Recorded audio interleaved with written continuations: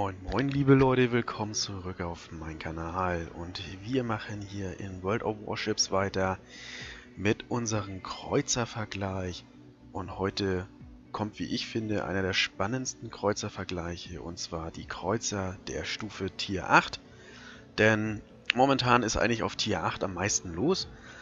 Ähm, das hängt vielleicht damit zusammen, dass man dort vernünftige Premium-Schiffe schon bekommt. Das hängt vielleicht damit zusammen, dass auf Tier 8 sich so ein bisschen die Spreu vom Weizen trennt, weil ab Tier 8 wirklich der Verlust eines Schiffes, der teuer ist, das Vorankommen auf Tier 9 und Tier 10 wirklich schon ja entweder sehr zeitintensiv ist oder sehr kostenspielig.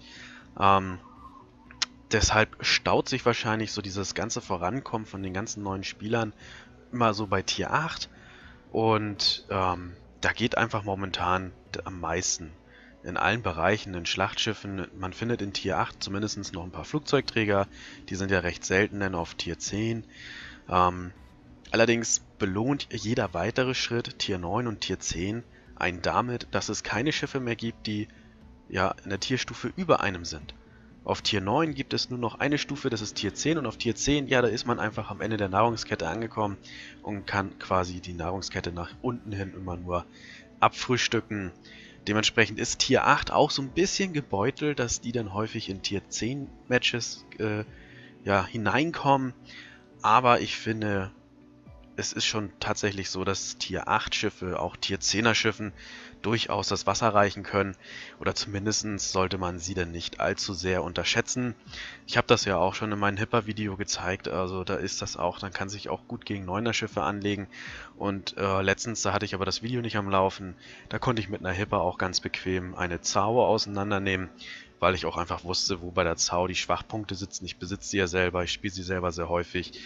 Und ich glaube, der Kapitän hat nicht dämlich, äh, nicht allzu dämlich aus der Wäsche geguckt, ähm, als ich ihn dann, ja, quasi vorgeführt habe und komplett zerlegt habe.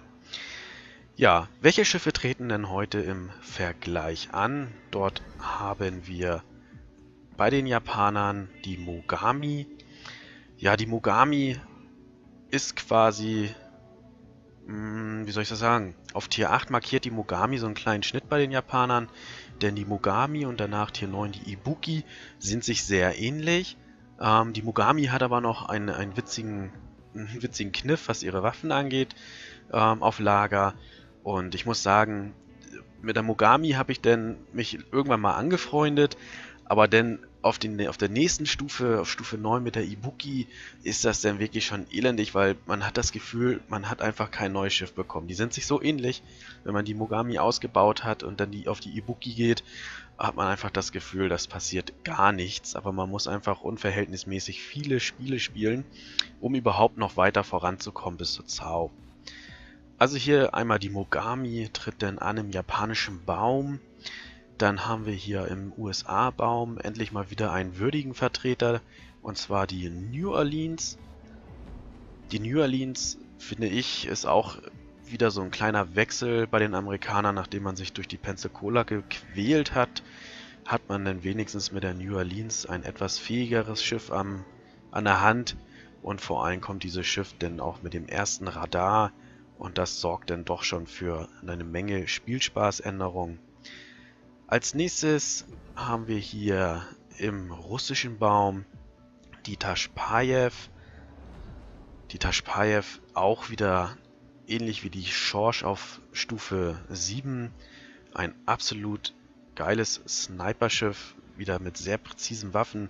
Allerdings ein sehr großes Schiff und äh, ja, ein, ein willkommenes Ziel für sämtliche Schlachtschiffe, halt durch die Größe, durch die Länge, durch den schönen Zitadellen. Bereich hier in der Mitte. Allerdings kann die Tashpajew mächtig austeilen und das auf einer guten Distanz. Kommen wir weiter zur nächsten Abteilung. Da tritt unsere Hipper an.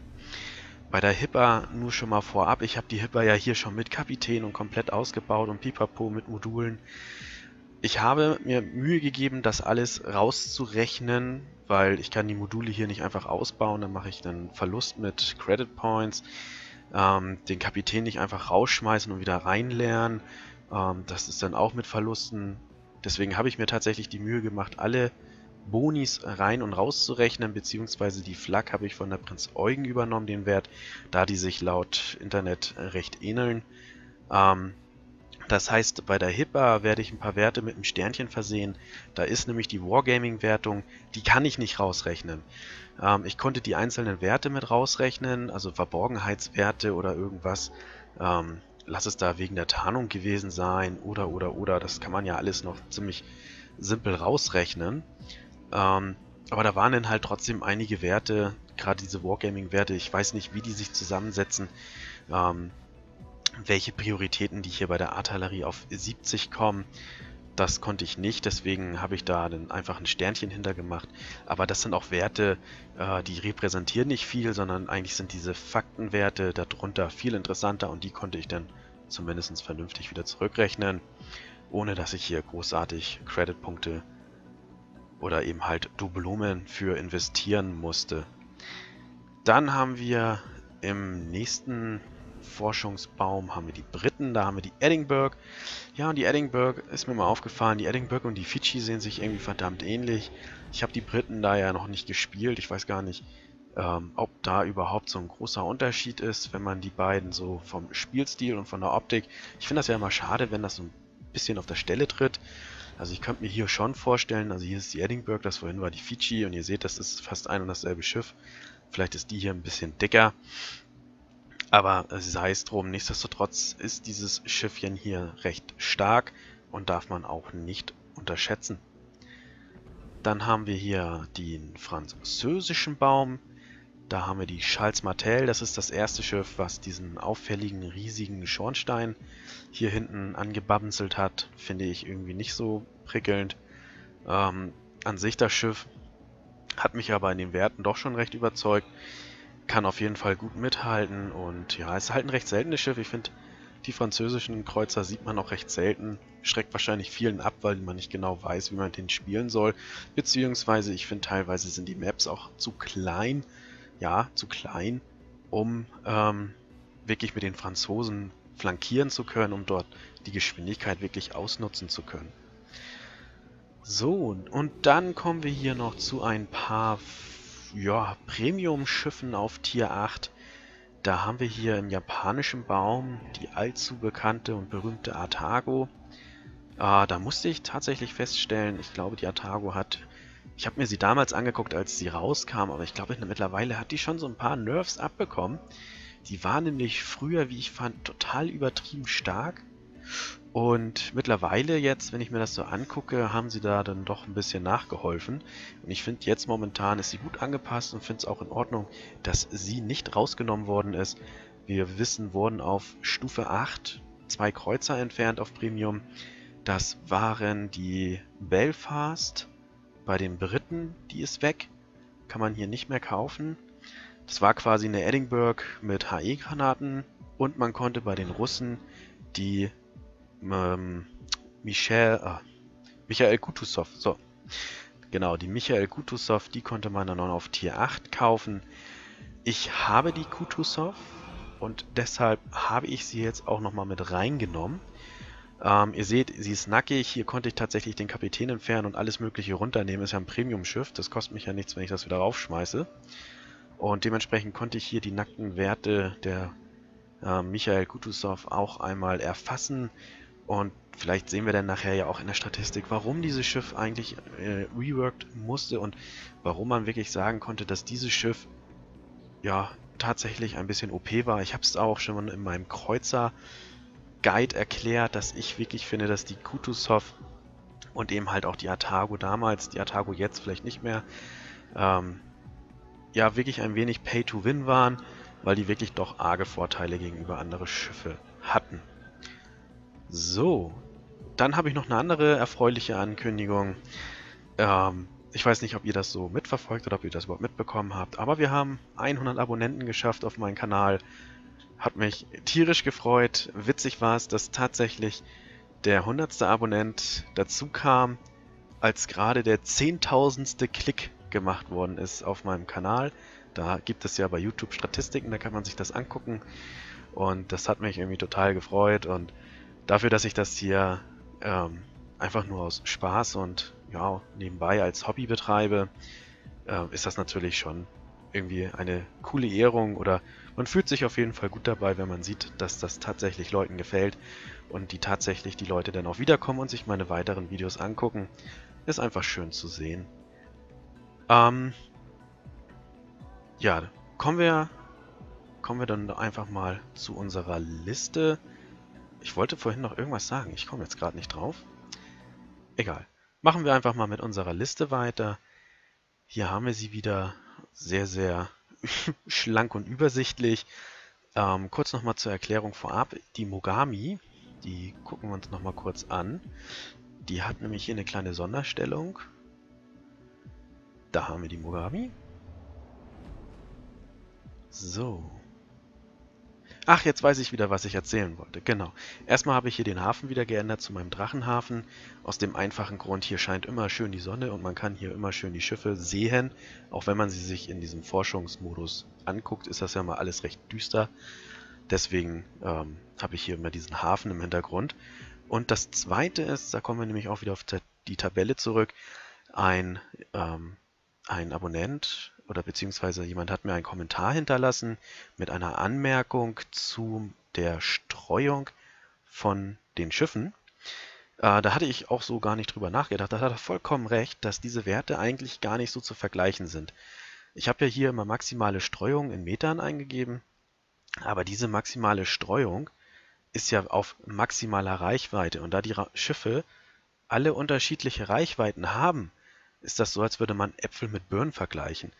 Denn ähm, zum Beispiel hier ein Schiff, was eine Reichweite von über 17 Kilometer hat und eine Streuung von 142, streut dann ja vielleicht weniger als ein Schiff, was nur 131 Meter Streuung hat, aber eben halt auch nicht so weit schießen kann. Deshalb habe ich hier einen neuen Wert eingefügt und den vergleichen wir. Dieser neue Wert, das ist die Streuung auf 10 Kilometer normiert.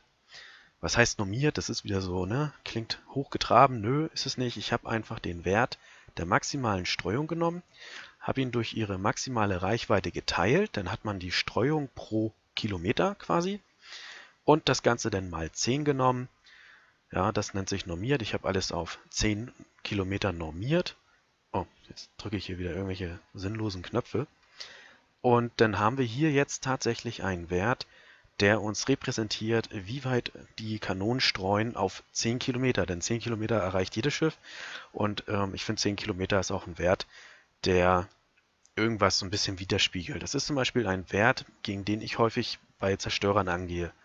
Na, wenn ich irgendwo einen Zerstörer sehe auf 10 Kilometer, dann fühle ich mich noch recht sicher und dann will ich auch gucken, wie gut treffe ich denn diesen kleinen Zerstörer und da macht wirklich jeder Meter einen Unterschied.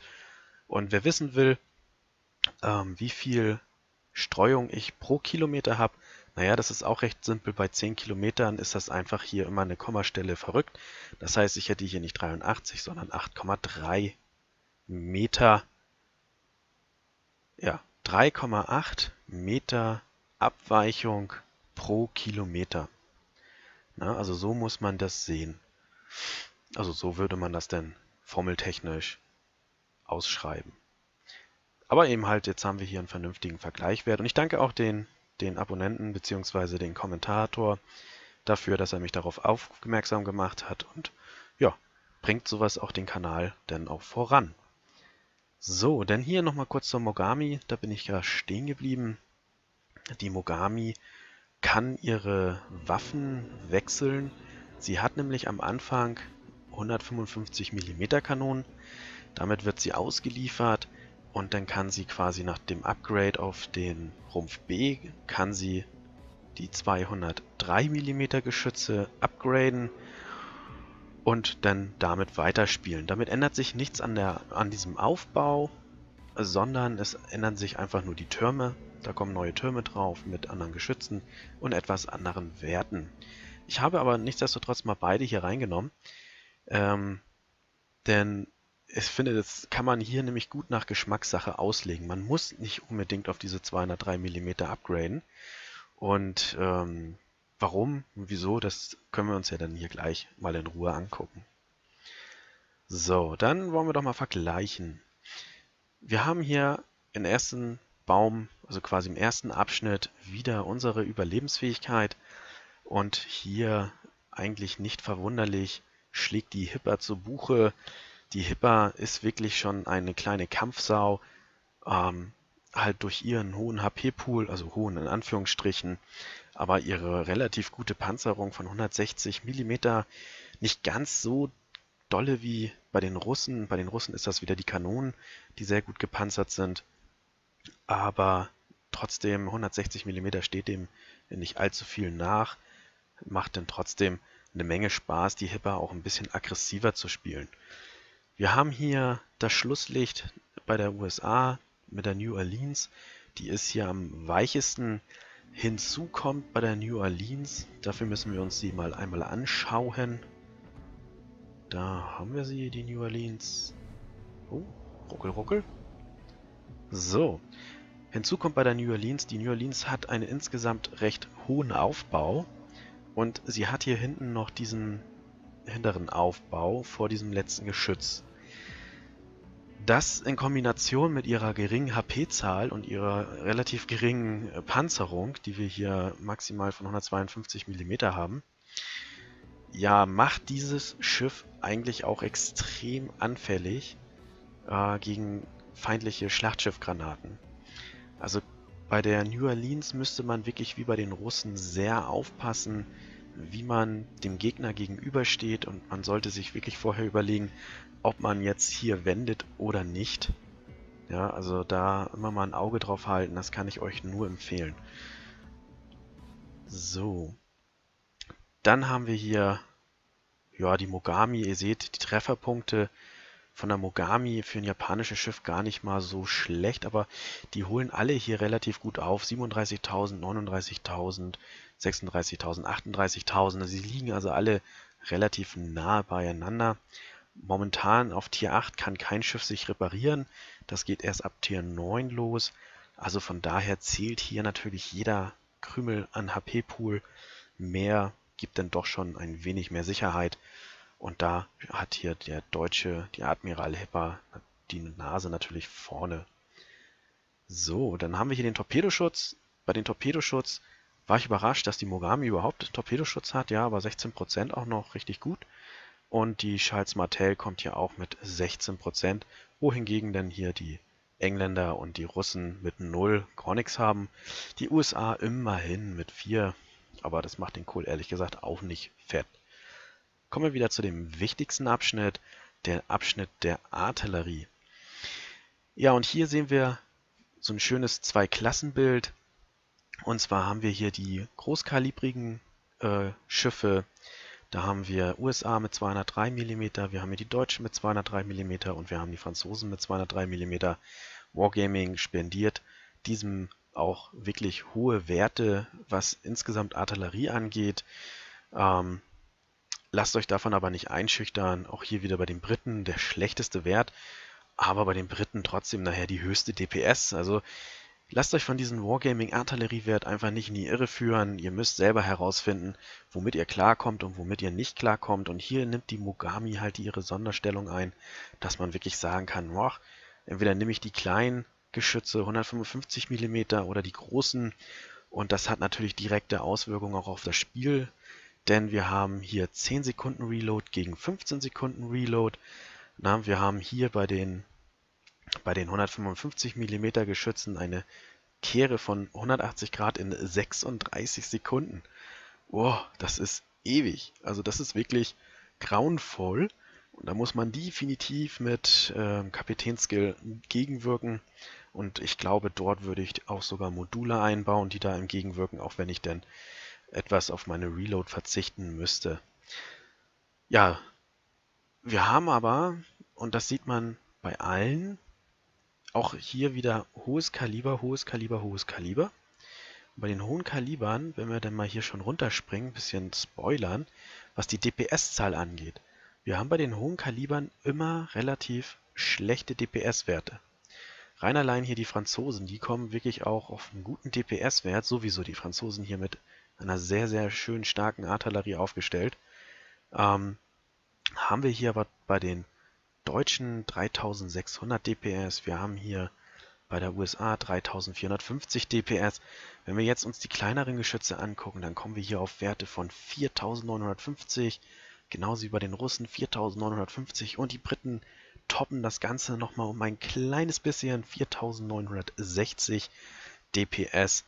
Das ist schon echt mächtig. Nur alleine die Franzosen, die kommen da ein bisschen dichter ran. Das ist dem geschuldet, dass die Franzosen hier eine Reload haben von 10 Sekunden und das mit 203 mm Geschützen. Wirklich, wirklich sehr stark. So, dann kommen wir hier einmal auf den Streuungswert, den ich jetzt vorhin noch angekündigt habe. Da sehen wir jetzt mal den normierten Wert auf 10 Kilometer und da wird ganz klar, dass hier die Deutschen mit ihren Geschützen am höchsten liegen mit 88 Meter Streuung auf 10 Kilometer und die Franzosen hier wirklich sehr schön auch den geringsten Streuungsfaktor haben. Aber nichtsdestotrotz sehen wir hier auch, dass die anderen Schiffe von der USA, von den Russen und von den Japanern eigentlich sehr identisch liegen. Also auch wenn sich die Werte hier oben so ein bisschen, ein bisschen verteilen, ist jetzt auch nicht so dolle, aber man sieht das auch hier auf normiert 10 Kilometern passiert da nicht viel. Wirklich nur hier die Deutschen und die Franzosen, die gehen jeweils in unterschiedliche Richtungen. Aber sei es drum, bei den Deutschen ist das ja eh schon so ein bisschen Schlachtschiff-Feeling. Mit diesen dicken AP-Granaten, hier haben wir den Höchstwert von 5900 Schaden pro Granate. Das ist so genial, das macht so viel Spaß. Kann man natürlich auch auf mein Hepper-Video nochmal verweisen. Wenn es da knallt in der Hütte, dann ist da aber richtig Rambazamba. Ja, und hier haben wir nochmal ein bisschen ja, ich will mal sagen Gegenteil, aber ist es ja gar nicht, denn hier spielt uns Wargaming auch wieder so ein bisschen ja, falschen Wert vor. Wir haben hier bei den Briten wieder hier oben schon einen 34er Wert. Da haben wir hier bei den Deutschen angeblich schon fast das Doppelte. Und dann haben wir hier auch noch 3100 Schaden, AP-Schaden, das ist ja auch nicht so viel. Irgendwie kommt da nicht so wirklich gut rum, aber einen sehr hohen DPS-Wert. Und das ist einfach dem Fakt geschuldet, dass hier die Briten mit 7,5 Sekunden Reload unterwegs sind. Das ist nämlich schon richtig gut. Und das ist ja auch die Stärke der Briten. Das spielt, das zieht sich ja wie so ein Leitfaden bei den Briten von Anfang bis zum Ende durch. Sie haben immer dieses kleine Kaliber von 152 mm, da werden sie auch nicht drum rumkommen aber dafür haben sie eine extrem hohe Reload-Zeit, äh, eine extrem gute Reload-Zeit, eine, ein sehr geringer Wert, ähm, schießen sehr schnell und ihre AP-Granaten kommen halt, weil sie relativ langsam sind. Hier sehen wir den Wert nochmal 841 Metern. Ähm, bedeutet so viel, dass die AP-Granaten ziemlich mit einem ziemlich großen Winkel von oben in das Schiff einschlagen. Was aber auch bedeutet, dass wenn zum Beispiel gegnerische Schlachtschiffe oder andere Kreuzer auf hoher Distanz von einem britischen Schiff angegriffen werden, die Granaten oben aufs Deck einschlagen und nicht von der Seite. Also quasi nicht seitlich in den, in den Bauch hier werden die Granaten einschlagen, sondern die Granaten, die schlagen hier oben in das Deck ein und dort ist die Panzerung von vielen Schiffen einfach nicht gegeben, beziehungsweise sehr schwach, 25 mm. Also da haben die Granaten von hier oben in diesem Winkel auch genauso leichtes Spiel wie die Granaten, die hier von der Seite reindrücken. Ja, also das ist halt einfach ein bisschen vom Spielstil abhängig, aber je weiter man in diesen Tierbereich nach oben kommt, desto besser wird die Panzerung von den Schiffen an der Seite. Und ja, hier oben nimmt es aber nicht mit zu. Das heißt, Schiffe wie die amerikanischen Schiffe und die britischen Schiffe wir sehen es hier auch mit den USA, die HE-Geschwindigkeit und die AP-Geschwindigkeit sehr langsam. Das heißt, die Granaten kommen in diesen hohen Bogen rein und die machen teilweise Zitadellentreffer. Ähm, da, da wundert man sich, wo gehen die denn da rein? Aber das liegt einfach an diesen Winkeln, wie die einschlagen und machen trotzdem eine ganze Menge Schaden. Das muss man einfach mal im Spiel so ein bisschen erleben, dann weiß man auch so ein bisschen, was ich meine. Ja, bei den Russen hat man diesen Effekt eigentlich gar nicht. Bei den Russen, da muss man wirklich gezielt, ja, wirklich hier hinzielen und dann knallt es ja auch bei der New Orleans ordentlich in der Hütte. Bei den Briten, naja, da reicht es auch, wenn man hier so leicht hier oben hinzielt, dann schlagen die Granaten hier oben aufs Deck ein und bohren sich von oben nach unten in das Schiff rein und verursachen ganz gut Damage. Ja, und hier ist er auch natürlich beim Tier 8. Ähm, will ich immer so ein bisschen sagen, Tier 8 ist immer so der Wegbereiter quasi bis Tier 10. Ähm, da ändert sich nicht mehr viel, da geht es eigentlich immer so in diese eine Richtung. Bei der Mogami haben wir das hier zum Beispiel, wenn wir hier die dicken Geschütze einbauen, ähm, dann spielt sich die Mogami tatsächlich schon, auch die Ibuki, annähernd schon so wie die Zao. Ähm, da kann man dieses Spielstil, also die, auch so die Mechaniken der Zao, kann man schon dort gut trainieren. Und ähm, das haben wir hier tatsächlich in allen Bäumen. Bei den Amerikanern zum Beispiel, da wird die Reload-Zeit schon ein wenig gesenkt. Das finde ich sehr gut. Das macht dieses Schiff auch ein bisschen besser als die Pensacola. Noch dazu kommt das USA-Schiff hier schon mit Radar ausgestattet. Genauso wie die Tashpayev. Die Tashpayev kommt hier auch schon mit Radar ausgestattet. Und die Tashpayev hier auch ähm, wieder mit ihren Laserguns unterwegs, mit einer guten Reichweite. Schönes Sniperschiff. Und das bleibt dann auch bis zur großen ähm, Moskwa so beibehalten. Die Deutschen sind da mehr so ein bisschen dieses turtelige, dieses schildkrötenartige Schlachtschiff-Feeling. Ja, so eine, geht tatsächlich schon die Kreuzer in Richtung Schlachtkreuzer. Und bei den Briten geht es halt immer mehr, dass die im Damage aufholen, ihre Art und Weise, wie man sie spielt, ändert sich eigentlich nicht mehr. Das ist immer dieses sneaky sneaky ran nach vorne einnebeln, aber dann kommt da mal wenigstens jetzt mit den nächsten Schiffen richtig Damage rum. Und was ich sehr schön finde, hier die Franzosen holen hier richtig gut auf. Die Franzosen hier eigentlich mit der besten Artillerie aufgestellt, sind wirklich nirgendwo schlecht, aber haben wirklich überall, also hier und da mal wirklich gute Werte, die rausstechen. Auch mit der Reichweite mit der normalen Standardreichweite von 17,6 Kilometer auch ein sehr schönes Schiff, um auf Distanz kämpfen zu können.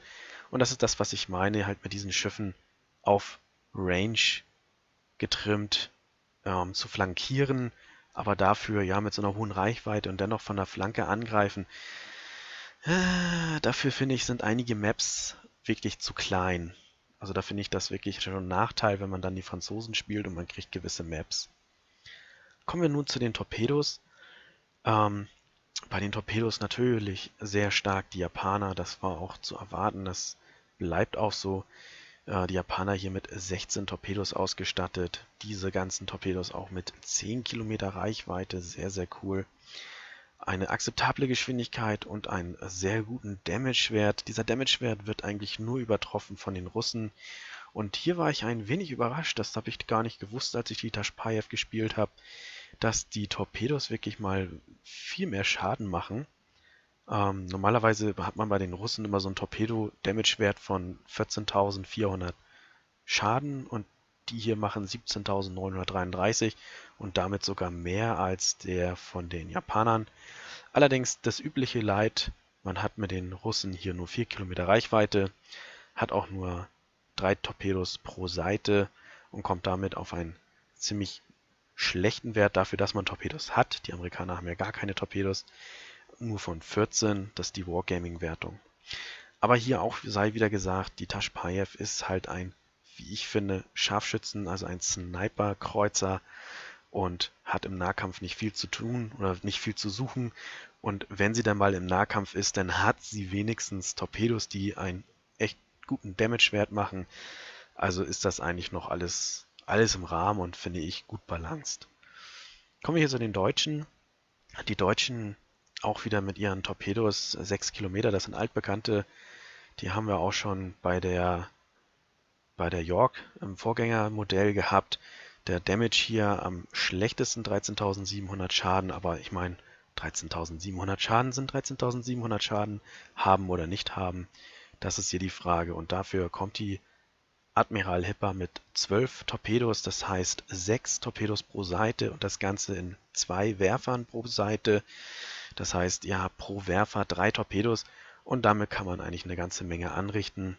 Auch hier wieder ein bisschen der Verweis auf mein Hipper-Video, da sieht man das auch ganz gut. Dann haben wir hier die Edinburgh. Die Edinburgh kann ja ihre Torpedos im Einzelfeuer hintereinander abschießen, hat leider nur sechs Torpedos insgesamt, das macht drei Torpedos pro Seite. Aber immerhin, diese Torpedos haben eine Reichweite von 10 Kilometern. Damit mehr als bei der Fidschi. Die hatten, wenn ich mich nicht irre, nur 8 Kilometer Reichweite und kommen auch allesamt hier mit einem ganz guten Tarnwert daher. Nur eben halt, die Japaner haben einen etwas schlechteren Tarnwert und äh, genau, einen etwas schlechteren Tarnwert. Bei der Geschwindigkeit sind sie alle über 60 Knoten angekommen. Da haben wir hier die Franzosen mit nur in Anführungsstrichen 60 Knoten ähm, und eine Reichweite aber trotzdem von 9 Kilometern. Die Reload-Zeit, muss ich aber sagen, ist bei den Kreuzern eigentlich sehr schön. Wir haben hier nur bei den Japanern 101 Sekunden, aber das ist trotzdem weniger als 2 Minuten, finde ich völlig in Ordnung in so einem Spiel. Mal davon abgesehen, dass sie 16 Torpedos hat. Bedeutet 8 Torpedos pro Seite in zwei Werfern pro Seite, macht 4 Torpedos pro Werfer. Damit kann man wirklich eine ganze Menge rumspielen und dieses Schiff schon fast wie ein Zerstörer gut positionieren und dann die Torpedos auch gut am Mann bringen. Da finde ich es auch nur fair. Mit 101 Sekunden hier das schlechteste im Rennen. Da haben wir hier die Deutschen mit 68 Sekunden. Das ist etwas mehr als eine Minute. Eigentlich auch ein sehr, sehr guter Wert. Das spiegelt nochmal dem wieder, wofür ich auch die Hipper sehe. Rangehen, ran an den Speck und kämpfen. So, dann haben wir den Damage-Wert, habe ich schon einmal erläutert. Kommen wir hier zur Flugabwehr. Und hier haben wir erstaunlicherweise bei der Admiral Hipper einen sehr guten Wert von 57. Da bin ich der Meinung, alles rausgerechnet zu haben, was ich rausrechnen konnte. Ähm, seht es mir nach, wenn dieser Wert vielleicht nicht ganz richtig ist. Vielleicht ist er ja auch bei 56 oder 55. Vielleicht habe ich mich da irgendwo vertan. Ich bin aber der Meinung, ich habe ihn tatsächlich so ausgerechnet.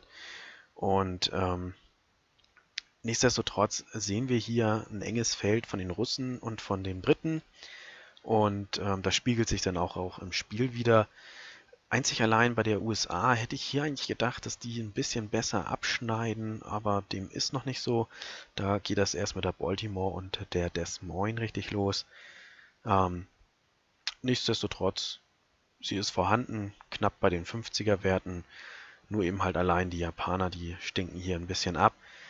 Allerdings macht das gar nicht allzu viel, denn die Japaner sind in der Manövrierfähigkeit wieder top und das ist natürlich auch gut, um Torpedos auszuweichen, wenn dann zum Beispiel ein gegnerischer Flugzeugträger einen Angriff fliegt. Ihr seht das in meinem ZAO-Video. Ne, das ist gar nicht. Das ist das Video mit dem, wo ich das Zielen erkläre. Ja, da weiche ich ja auch einen kompletten Angriff von einem Flugzeugträger aus, bekomme nicht mal ein klitzekleinen Kratzer. Ich glaube, ein Torpedowerfer oder so fällt aus, aber nicht mal Damage gemacht. Und ähm, das ist halt der Vorteil, wenn man ein manövrierfähiges Schiff am Start hat, kann man so ein bisschen die Flugabwehr zumindest für sich selber ausgleichen. Allerdings ist der Support-Effekt mit seiner Flotte, also wenn ich jetzt sage, ich beschütze ein anderes, äh, ein anderes Schiff gegen Flugzeuge, kann man natürlich mit einem Wert von 40 nicht viel erwarten. Zur Manövrierfähigkeit finde ich hier auch noch sehr schön, da sind die Amerikaner gar nicht schlecht. Ähm, sollte man nicht unterschätzen, die Amerikaner haben, also die New Orleans ist recht flink unterwegs mit guten Ruderstellzeiten. Wenn man das noch ein bisschen aufbohrt, ja, dann geht da richtig was. Dann haben wir hier auch einen sehr kleinen Wendekreis. Ähm, Finde ich gut, damit macht es die New Orleans wieder ein bisschen interessanter und da kommt dann auch ein bisschen mehr Spielspaß auf als bei der Pensacola. Die Russen gewohnt schlecht. also, ja, was soll man dazu sagen, ne? 890 Meter Wendekreis. Da lachen einige Schlachtschiffe sogar drüber. Dann haben wir hier eine Ruderstellzeit von 9,7 Sekunden. Ja, würde ich so oder so immer nachhelfen. Aber trotzdem ist der Grundwert schon ziemlich schlecht. Bei den Deutschen haben wir halt ein bisschen das Nachsehen in der Höchstgeschwindigkeit. Aber selbst da, also wir sehen hier 32, 32,5. Dann haben wir hier 32,5, 32,5, 33,5. Das ist immer die Frage, so oft fährt man ja eigentlich als Kreuzer nie Vollgas in eine Richtung, sondern eigentlich sollte man immer mal ein bisschen kreuzen und dann verliert man sowieso an Geschwindigkeit. Also von daher ist dieser Wert völlig vernachlässigbar und ja, nicht so wichtig, mal abgesehen davon, dass hier die Franzosen wieder ihren Motorboost zünden könnten und diesen Wert dann nach oben katapultieren können, um halt auch gut Zerstörer jagen zu können. Dann haben wir hier unten den Verborgenheitswert. Ja, und wer hätte das gedacht? Hier bei der Verborgenheit, die Briten am besten und unsere kleinen Schlachtkreuzer der Deutschen am schlechtesten. Eigentlich überhaupt keine Überraschung. Ähm, ich fand hier noch ganz interessant, dass die Mogami ähm, endlich mal in ihre Verborgenheitswerte runtergeht. Ich hatte immer das Gefühl, dass die Japaner eigentlich von Anfang an bis zum Ende immer einen extrem guten Tarnwert hatten, aber in den Vergleichen waren sie dann doch immer so ein bisschen mittelmäßig. Nun geht das aber hier bergab, also besser gesagt bergauf, um ähm, eben halt bis zur Zau, weil die Zau wirklich auch schon einen extrem guten Tarnwert hat. Den Ganzen kann man natürlich auch noch mit Modulen und Kapitänsskillungen nachhelfen. Und äh, da hat man wirklich eine Menge Spielraum und kommt dann auch schon gut auf unter 10 Kilometer mit der Erkennbarkeit. Da ist es natürlich schön zu sehen, dass man hier solche Werte hat wie 11,7, 11,8, 11,7 und hier noch 12,8. Ähm, da kann man so ein bisschen runterdrücken. Diese 12,8 hat mich bei der Tashpayev ziemlich überrascht, weil die Russen eigentlich immer sehr, sehr früh aufgehen. Ähm, aber das hatte ich wahrscheinlich immer so ein Gefühl, weil ich die Kutusov spiele und was da bei der Wert für bei der Kutusov rauskommt, das sehen wir gleich und das bestätigt dann auch das wieder so ein bisschen, was ich dann immer so erlebt habe im Spiel. Ja, damit wären wir dann hier quasi auch durch mit unseren Standardkreuzern. Und da geht es dann immer weiter in die Richtung. Die USA hier auf jeden Fall nicht mehr allzu schlecht. Finde ich gut. Kriegt erstmal einen Daumen hoch. Ähm, fängt so langsam an, mit ihren Geschützen richtig Randale zu machen. Ähm, auch hier mit der Reload ein bisschen gedrückt. Bei den Japanern habt ihr hier bei der Mogami wirklich das Einzigartige, äh, dass ihr unterschiedliche Waffenmodifikationen auswählen könnt. Testet mal bitte auch beides aus oder geschweige denn, wenn ihr mit den Kleingeschützen gut klarkommt, könnt ihr euch vielleicht, wenn ihr nicht so viel Credit Points habt, das Geld sparen für die großen Geschütze. Ähm, ich habe das damals auch gemacht. Ich habe mit diesen kleinen Geschützen gespielt und ich fand das auch super witzig, weil natürlich die Reload ganz okay war und ähm, ja, man hat halt, also gefühlt hatte ich halt eine bessere Brandstatistik, auch wenn wir hier sehen, Brand 10% gegen 17%, aber hier kommt natürlich dann auch die Reload zu Trage und der Fakt, dass wir hier einfach mehr Geschütze haben. Ja, ich fand's, ich fand's sehr witzig, mit diesen 155 mm zu spielen. Äh, ich kann es auf jeden Fall jedem mal empfehlen, das zumindest auszuprobieren. Denn die Hipper brauche ich nicht viel zu sagen.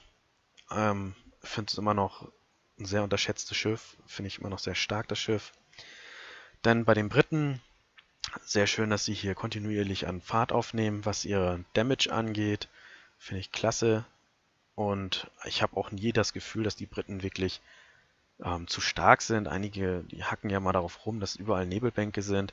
Ja, aber dann nimmt man sich halt mal ein bisschen die Russen und die USA an die Brust und geht damit Radar gegen an. Also von daher finde ich das okay. Es muss einfach auch solche Schiffe im Spiel geben und das finde ich auch in Ordnung.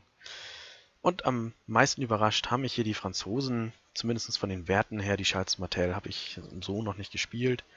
Ähm, dass die hier auch in ihren Artilleriebereich ordentlich an Fahrt aufnimmt. Das finde ich auch sehr gut. Und das braucht sie auch dafür, dass sie so ein schnelles Schiffchen ist, um ihm halt zu flankieren, braucht man auch vernünftige Waffen. Kommen wir jetzt mal zu den Premium-Schiffen. Ja, bei den Premium-Schiffen, gerade auf Tier 8, war wirklich sehr, sehr viel Aktivitäten im Forum, von wegen overpowered, nicht overpowered und Pay to Win, nicht Pay to Win. Ähm, ich habe das vorhin schon erwähnt, die Atago damals, ich fand die auch super mächtig. Äh, mittlerweile ist die Atago, und wir fangen jetzt mal hier einfach mit der Atago an, ähm, gar nicht mehr so mächtig. Sie ist minimal besser gepanzert, äh, ja, ein bisschen mehr HP hat sie. Wir sehen es da hinten bei der Mogami, 39.100. Ja, hier sind 1000 Lebenspunkte mehr, dafür ein bisschen schlechtere Panzerung. Ähm, die Artillerie, warum auch immer, ist hier um einen Wert besser angegeben. Dabei hat sie sogar noch eine Sekunde Reload dazugekriegt. 15 Sekunden finde ich ja schon ätzend. Und jetzt hat die Atago 16 Sekunden. Ich, dieser Wert, den habe ich noch nie so wirklich gelesen und ich kann mir auch gut vorstellen, dass das so eine Nerf-Aktion war, um diese Schiffe ein bisschen schlechter zu machen. Ähm, Wir haben hier eine etwas bessere Turmdrehgeschwindigkeit von einer Sekunde. Wir sehen es hier 30, reduziert auf 29. Uh. Dafür streut das Schiff mehr. Die Damage-Werte, Fluggeschwindigkeiten sind die gleichen. Allerdings ist der DPS-Wert ähm, runtergegangen, aufgrund dessen, dass der Reload-Zeitfaktor ähm, nach oben gegangen ist. Ja, und wir haben hier nochmal 100 Meter mehr Reichweite. Ja, ob man das braucht, weiß ich nicht. Also ich finde, mh. Hm. also diese Werte, an, anhand dieser Werte würde ich mir persönlich nicht die Atago kaufen. Das ist ein Deal, den ich nicht eingehen wollen würde, geschweige denn für das Geld. Dann haben wir hier die Torpedos, das ist genau das gleiche. Dann haben wir hier eine schlechtere Flugabwehr, die ja sowieso schon schlecht ist bei der Mogami, bei 40. Wir haben hier 36, ist nochmal schlechter.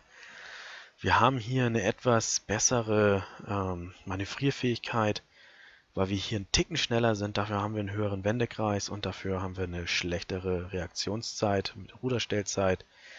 Und noch dazu kommt ähm, hier unten die Werte bei der Verborgenheit. Das Schiff ist nicht ganz so gut verborgen. Allerdings muss man auch hier dazu sagen, dass die Mogami, muss ich mal kurz gucken, die Mogami kommt ja auch schon mit einer Tarnung daher. Das sollte man auch nicht vergessen. Die Tarnung, die macht da ja nochmal 4% an Verborgenheit. Also ja, das ist dann halt dieser Premium-Faktor kommt ja noch dazu, dass man mehr Erfahrungspunkte, mehr Credit Points farmt.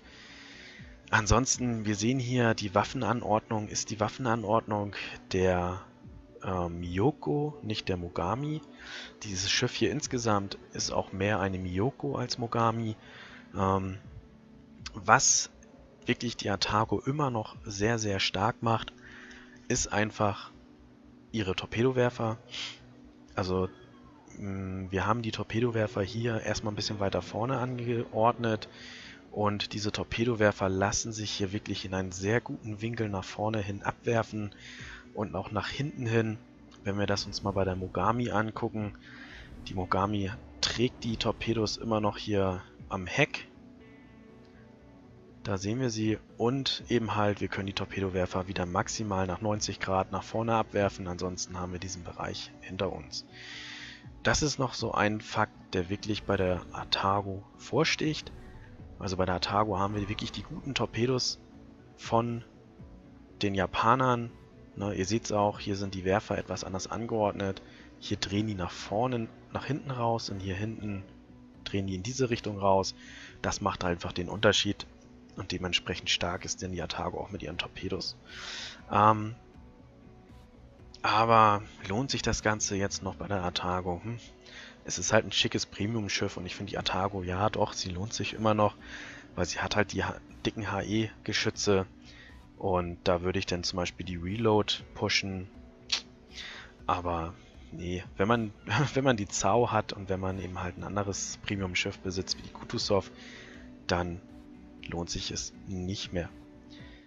Ja, kommen wir jetzt mal zum Thema Kutusov. Wir gehen jetzt das Ganze mal ein bisschen hier rückwärts durch, denn die Kutusov kann ich ja endlich mal drüber hin rumschwärmen. Ich gehe mal hier auf die Kutusov. Die Kutusov jetzt hier in ihrer Version ohne Flaggen, ohne Tarnung, ohne alles, ohne Kapitän, ist wirklich verdammt stark. So, warum das Ganze?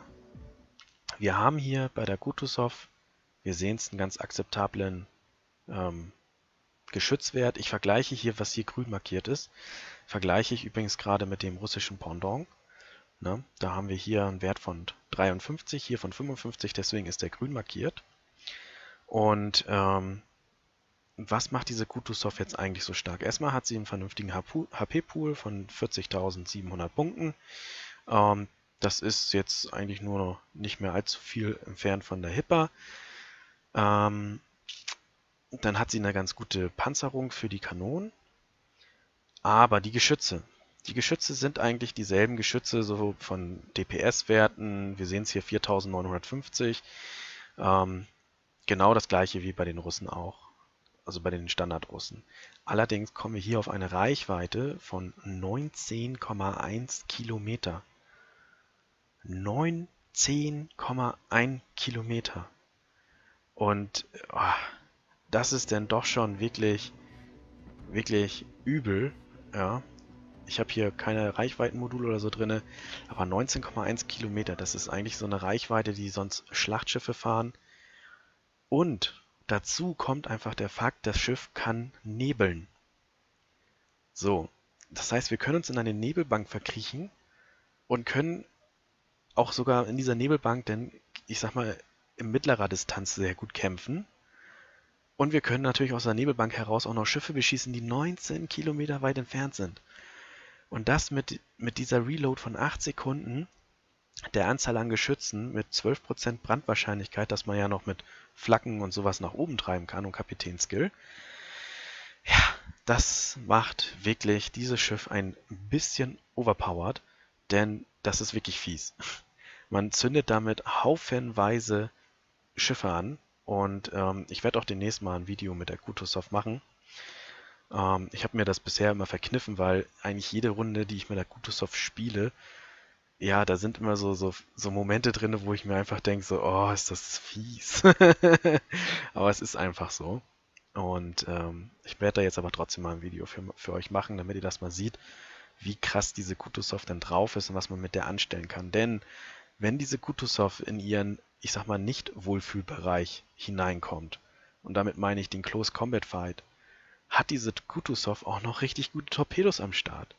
Diese Torpedos haben nämlich eine Reichweite ähm, von, also sie hat erstmal 10 Torpedos, das heißt 5 Torpedos pro Seite und ähm, okay, eine Reload von etwas mehr als 2 ähm, Minuten aber 8 Kilometer Reichweite. Alle Kreuzer der Russen haben eine Reichweite von, nein, nicht alle. Das Tier 9 Pendant, die, die Dimitri Donskoy, hat auch 8 Kilometer, die hat genau diese Torpedos hier. Aber die ist Tier 9. Aber alle anderen Kreuzer bis Tier 9 bei den Russen haben immer nur 4 Kilometer Reichweite. So, und das bedeutet, dieses Schiffchen kann hier im Nebel hocken, mit ihren Kanonen eigentlich das halbe Spielfeld bespaßen. Und sollte denn doch mal irgendein Schiffchen zu nahe kommen, hat sie hier diese Torpedowerfer, wir sehen sie, mittig angeordnet. In einem sehr guten Winkel kann sie die nach vorne und nach hinten rausschmeißen. Das ist wirklich schon gut. Und dennoch zum allen Überfluss. Also nicht nur, dass sie die guten Geschütze hat mit einer hohen Reichweite, nein, sie hat auch noch gute Torpedos. Und den besten Flagwert, also Basis-Standard-Flagwert von allen Kreuzern auf Stufe 8. Also da macht sie die Amerikaner mal richtig nass mit, mit diesem Wert, 63. Und die funktionieren auch wirklich gut. Also das macht auch immer einen Heidenspaß. Ich habe die, wenn ich meinen Kapitän und so drauf habe, ist da auch noch Flak gepusht. Ähm, dann geht die ab wie Schmitzkatze, was, was äh, Flugabwehr angeht, kann sich dort auch wirklich mit Zehner-Schiffen messen. Also das macht die Kutusow auch nochmal wirklich stark. Die einzigen Schwachpunkte... Ach nee, hier kommen wir nochmal zu weiteren Stärken. Siehst du, Sie ist nämlich gegenüber dem Standardrussen-Modell, wo haben wir den? Haben wir hier. Haben wir hier eine etwas schlechtere Geschwindigkeit, okay. Aber der Wendekreis von 760 Metern ist für ein russisches Schiff nicht schlecht und wir haben hier eine Ruderstellzeit. Ähm, also ich musste das rausrechnen, aber trotzdem. 5 Sekunden, eine Ruderstellzeit von 5 Sekunden, das, da kommt kein anderes Schiff im Standardwert her. Und das macht dieses Schiff tatsächlich enorm wendig und enorm flink. Ähm, und lässt dieses Schiff auch gut aus, aus gegnerischen Beschuss hinausfahren. Allerdings braucht sie das auch tatsächlich, denn sie ist einfach ein weiches Ziel. Brauchen wir nicht drüber reden. Es ist ein Kreuzer, da schlägt alles ein, was nicht nied- und nagelfest ist. Ähm, ja, aber trotzdem ist das wirklich ein wenig unfair. Wir haben hier jetzt in der Verborgenheit vielleicht so ein bisschen den Nachteil. Ähm, tatsächlich ist es, wenn wir die Kutusow spielen, sind wir eigentlich immer der erste Kreuzer, der aufgeht mit 14,5 Kilometer Sichtbarkeit zu Wasser.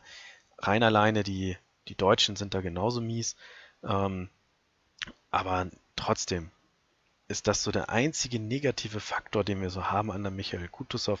Ansonsten ist dieses Schiffchen wirklich overpowered gewesen. Ne? Es ist ja momentan nicht zum Verkauf. Sie haben das ja aus dem Spiel genommen erstmal. Ja. Aber da seht ihr jetzt auch mal, warum. Und dann kann man das ein bisschen nachvollziehen. Hier vielleicht mal noch ein paar Tipps, wenn ihr gegen eine Kutuzov spielt. Ähm, macht der Kutuzov ein wenig Druck, ja, setzt sie unter Druck. Die meisten Piloten, Piloten sei schon, zu viel Star Citizen gespielt, äh, die meisten Kapitäne nebeln dann nämlich sich sofort ein. So, und wenn die sich erstmal eingenebelt haben, oder eingenebelt haben, dann ist das wie bei den Briten. Einfach kurz gucken, von wo die Beschuss, also die Schüsse aus dem Nebel kommen und dann zum Beispiel mit einer Hipper oder was auf AP wechseln und direkt da reinschießen. Weil dann erwischt man diese Schiffe sehr gut, auch mit, ähm, mit gut mit Zitadellentreffern und kann die dann auch ganz gut so bekämpfen, obwohl man sie nicht sieht. Also das so vielleicht ein bisschen ähm, für die Michael Kutusow. Ach ja, hier, was natürlich auch noch ein bisschen unfair ist, die Briten, die haben ja mit ihren Nebelaktionen, haben die einen sehr kurzen ähm, Zyklus, also wenn sie den Nebel aktivieren, dann machen sie vielleicht zwei oder drei so eine Nebelpuffs und dann müssen sie drinnen stehen bleiben. Das heißt, sind sie zu schnell und sie aktivieren ihre Nebelbank, dann fahren sie aus ihrer eigenen Nebelbank mal heraus und fahren dann rückwärts wieder rein. Das sieht man mal immer wieder in irgendwelchen äh, Gefechten. Und bei der Kutusov, die hat die nebelt wie ein Zerstörer. Die kann, ich weiß gar nicht, die Nebelaktion, wie lange dauert die an? Da haben wir es aktiv für 20 Sekunden. Also in diesen 20 Sekunden hat man aber genug Zeit, das Schiff komplett abzubremsen. Und ähm, das ist auch noch so etwas. Also ist ja schön und gut, dass sie eine Nebelbank hat, aber dass die dann auch noch besser ist, also ich finde sie persönlich besser als die von den Briten, ja, das verhöhnt so ein bisschen in allen Belangen die anderen Schiffe. So, kommen wir jetzt zum nächsten Schiff. Ein Schiff haben wir hier noch in der Premium-Kategorie, das ist die Prinz Eugen. Und die Prinz Eugen gegen die Admiral Hipper verglichen, ist natürlich, die Admiral Hipper ist natürlich auch insgesamt sehr stark. Das heißt, die Prinz Eugen ist auch insgesamt sehr stark. Aber wenn man die beiden vergleicht, dann haben wir hier bei der Prinz Eugen ähm, etwas mehr Lebenspunkte. Da hat sie den höchsten Wert von allen Kreuzern mit 45.000 Lebenspunkten. Das ist auch schon wirklich ein sehr guter Wert. Dann haben wir hier eine ganze Menge Ähnlichkeiten. Da brauchen wir nicht weiter drüber reden. Artillerie ist gleich. Ähm, wir haben hier Torpedos gleich. Bei der Flugabwehr ähm, müsste ähnlich sein. Also der Wert von 57 ist der Wert definitiv von der Prinz Eugen. Der Wert von der Hipper ist ausgerechnet, kam ich auch, glaube ich, auf 57. Aber hier bitte bedenken, ich kann mich hier auch irgendwo verrechnet haben, dann ist der vielleicht ein bisschen schlechter. Ähm, aber sei es drum, das dürfte nicht viel abweichen. Doch wir tauschen im Gegenzug, dass wir hier oben ein bisschen mehr HP bekommen, tauschen wir hier unten etwas an unserer Manövrierfähigkeit ein. Wir haben hier die höchste Ruderstellzeit von allen Kreuzern mit 10,9 Sekunden. Da muss definitiv nachgeholfen werden. Und wir haben hier statt 740 haben wir hier 770 Meter Wendekreis. Okay, das ist vielleicht nicht so gravierend, ähm, aber definitiv dieser Wert hier von 10,9, da muss was getan werden. Und die Verborgenheit, da haben wir tatsächlich einen Wert, der noch schlechter ist als der von Akutusov. Das habe ich gar nicht gewusst. Ich dachte, der von Akutusov wäre der schlechteste, aber nö. Der von der Prinz Eugen ist noch schlechter. Da lohnt sich das gar nicht im Nebel überhaupt zu schießen, weil bei 9,1 Kilometer, ja, da ist bestimmt irgendwo ein Zerstörer in der Nähe, der einen trotzdem sieht. Na, also bei der Prinz Eugen, ich finde die Prinz Eugen einfach nur ein wunder, wunder, wunderschönes Schiff. Und jeder, der sich mit der Geschichte von der Prinz Eugen ein wenig auskennt, ähm, ja, der ist vielleicht verlockt, dieses Schiff als Sammlerschiff zu kaufen. Aber mehr würde ich auch für dieses Schiff nicht sehen. Es ist einfach eine Hipper. Sie hat nicht große Unterschiede zur Hipper, ist dann halt eine Hipper im Premium. Ähm, mehr aber dann auch nicht. Ja, bisschen schade. Ich dachte, hier kommt vielleicht ein bisschen mehr noch Defizite oder so Unterschiede raus. Aber historisch gesehen waren das ja auch Schwesterschiffe. Also von daher, ja, sie ist halt nur eins der wenigen Schlachtschiffe, die tatsächlich den Zweiten Weltkrieg überlebt haben von den deutschen Schlacht, äh, von den deutschen Schiffen.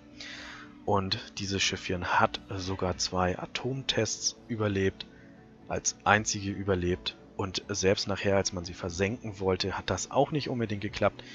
Ja, sie war denn als, als Kriegsbeute, war sie technologisch gesehen so weit voraus gegenüber den anderen Schiffen, dass die Amerikaner, die dieses Schiff bekommen haben, ähm, deutsche Bootsleute einstellen mussten, weil die einfach nicht gereilt haben, wie dieses Schiff funktioniert. Ja, und dann war es auch nachher so, dass dieses Schiff von der Technik her we weggebend war für fast alle Antriebstechnologien, die, mit denen die Schiffe heutzutage unterwegs waren. Also dementsprechend ist die Prinz Eugen ein extrem geschichtsträchtiges Schiff. Und ähm, ja, dafür kann man natürlich dann auch das Geld ausgeben. Allerdings, ich finde 11.000 Dublonen, das sollte man sich wirklich gut überlegen. Da hat man mit der Türpitz eigentlich den besseren, oder ich sag mal mehr Nutzen, mehr, mehr Plus an, an Spielspaß, weil die Prinz Eugen mit der Hipper, ja, weiß ich nicht, ich finde das ein bisschen teuer. Also da würde ich mir dann doch eher die Atago kaufen. Die kostet nicht ganz so viel. Ich glaube 500 Dublonen weniger. Ach nee, mittlerweile nur 300 Dublonen weniger. Ja, muss jeder für sich selber wissen. So, und ich glaube, damit sind wir dann auch durch. Genau, das war's mit den Achterkreuzern. Die Belfast konnte ich jetzt hier nicht mit reinnehmen, ähm, weil die Belfast habe ich persönlich nie gespielt. Und ich könnte mir zwar die Werte noch von irgendwo holen, aber ich könnte sie nicht interpretieren. Deswegen habe ich es einfach gelassen, bevor ich hier nämlich irgendeinen Stuss zusammenrede mit einem Schiff, mit dem ich mich überhaupt nicht auskenne, ähm, habe ich das gelassen. Die Kutuzov habe ich hier reingeholt, weil ich sie wirklich in- und auswendig kenne. Ich habe sehr, sehr, sehr viel Zeit mit diesem Schiff verbracht und dementsprechend konnte ich da auch meinen Senf noch dazugeben. Ich hoffe, das war wieder ein wenig informativ für euch. Ihr konntet da so ein bisschen Nutzen rausziehen aus dieser ganzen Geschichte. Und dann würde ich sagen, sehen wir uns beim nächsten Video, wenn es dann um die Neuner Schiffe geht. Also bis dahin, ciao, ciao.